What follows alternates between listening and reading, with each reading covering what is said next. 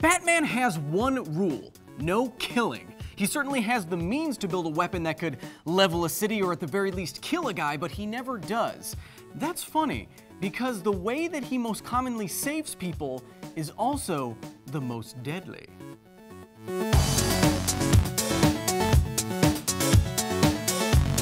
What's the second most famous Batman gadget aside from the cape?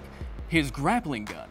It's taken many forms over the years through movies and video games and comics, but the idea is the same. Shoot out a wire that sticks into a wall and ascend, or hook onto someone or something and catch it as it's falling.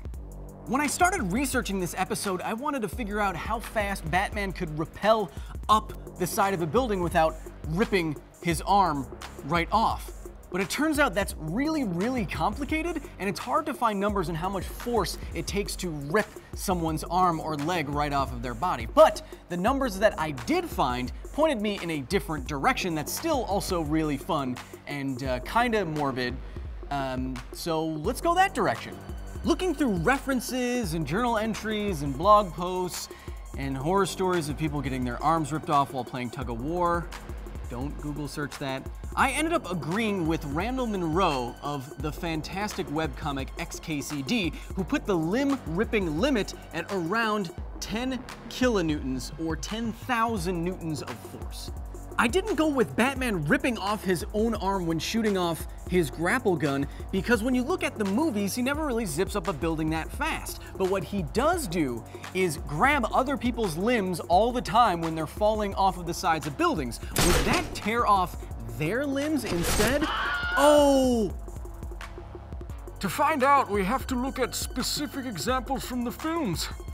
And I must warn you, it does not turn out well, Bruce.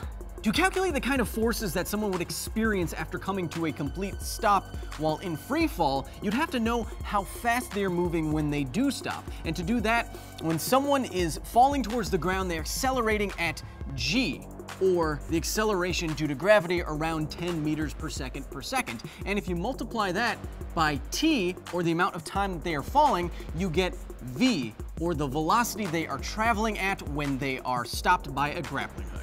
We also have to know something called impulse, or I. That's just how something's momentum changes, which is that velocity times that thing's mass. That equals impulse. And if you divide that impulse by the time it takes them to stop, you no longer have impulse, you have a force. Do you see why I'm more high energy usually? Sounding like a teacher is not always fun. So let's look at a few examples to see if Batman's grappling gun would break you. In 1989's Batman, Vicki Vale is falling for around 16 seconds before she and Batman are stopped. After 16 seconds, the pair would be falling at around 160 meters per second, ignoring air resistance. But in reality, they would be falling at a bit over terminal velocity for a person-shaped thing, around 53 meters per second. If they stopped in maybe a tenth of a second, the force on the pair is huge, 46,000 newtons. That would certainly rip off a limb or at least be enough G's to kill them. Dad! In 1995's Batman Forever, Nicole Kidman, or whatever her character's name was, is falling for around 19 seconds before the grappling hook line goes totally rigid. She should also be going at a terminal velocity by then, or around 53 meters per second, and if the stopping time is the same, she's pulling 38 kilonewtons of force. Yep, she's dead. A dad! Oh yeah, and Robin too. Dad! In 2008's The Dark Knight, the Joker falls for only 5 seconds before being caught by the leg. Still, he'd nearly hit terminal velocity in that time, or around 50 meters per second. When stopped, his leg experiences 44,000 newtons. Yep, leg ramp! Basically, if you've been falling off of something for more than a second or two, Batman is not going to be able to save you by grappling your body. Just ask Spider-Man about Gwen Stacy. Oh. Anyway, there are still ways to get around death by grapple. You can increase the amount of time that someone takes to slow down. I bet Batman can build a device that slowly slows someone down after it, it, it feels tension and, and doesn't just go totally rigid. Although I'm gonna bet that Batman is gonna accidentally break his one rule every once in a while. Because science, that's the way.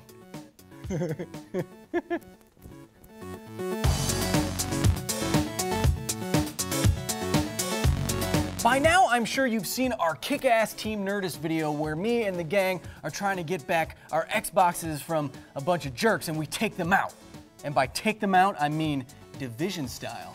Well, if you're wondering why we did that, it wasn't just because they had our Xboxes and Malik's sweet, sweet saves. It's to celebrate the release of Tom Clancy's The Division out right now on PC, Xbox One, and PS4. Like our sketch, it's about the aftermath of a massive pandemic that descends the city and New York City into chaos. And you are an agent of the Division, you have to upgrade your gear and specialize and, and take the city back. So go grab that because it sounds like a lot of fun. And thank you to the Division for sponsoring today's episode.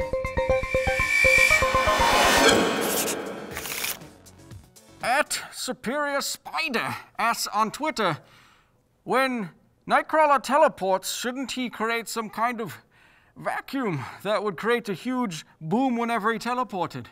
Yes, Superior Spider, you are most correct.